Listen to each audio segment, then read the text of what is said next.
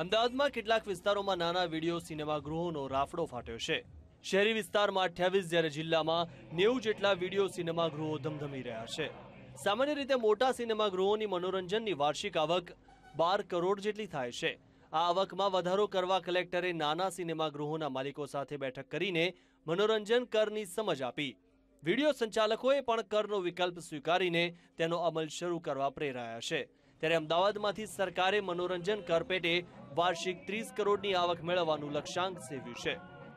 કે અમદાવાદ શહેર અને તેની આજુબાજુમાં અઠ્યાવીસ જેટલા જે વીડિયો થિયેટર્સ તરીકે જે ચાલતા હતા થિયેટર્સ, એમાં ખરેખર સિનેમા હોલ જેવી સગવડો પૂરી પાડવામાં આવતી હતી.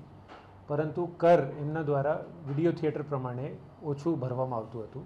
આ બાબત ધ્યાનમાં આવતા તમામ આવા લોકો સાથે એક મિટિંગ કરવામાં આવી અને એમને સમજૂત કરવામાં આવ્યા. અને એના આધારે આ લોકોએ તમામ લોકોએ લેખિત સંમતિ આપી છે કે તેઓ સિનેમા ગૃહ જેમ મનોરંજન કર પૂરું ભરવા તૈયાર છે. ખાસ કરીને આવા નાના વીડિયો સિનેમાગૃહો ગ્રામ્ય અને ઔદ્યોગિક વિસ્તારોમાં વધુ ચાલી રહ્યા છે જેમાં મોટે ભાગે ગરીબ અને શ્રમજીવી કે કારીગર વર્ગના દર્શકો વધુ આવતા હોય છે.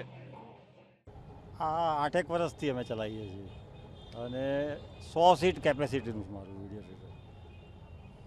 અને હિન્દી પિક્ચર જે હોય છે એ અમે ચલાવીએ છીએ. આમાં? મોર્નિંગ સાથે પાંચ શો હોય છે. ચાર રેગ્યુલર એક મોર્નિંગ રાજ્યમાં મનોરંજન કરની કુલ આવકની પચાસ ટકા રકમ માત્ર અમદાવાદમાંથી થાય છે. ત્યારે હવે આ આવકમાં વધુ વધારો થશે. કેમેરામેન યુવરાજ લીલા સાથે ધીમન જિંગર વીટીવી અમદાવાદ.